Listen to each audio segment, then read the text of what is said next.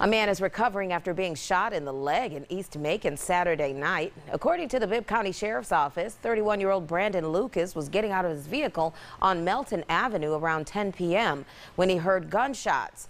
A bullet struck Lucas in the back of the thigh. He was taken to the hospital in stable condition.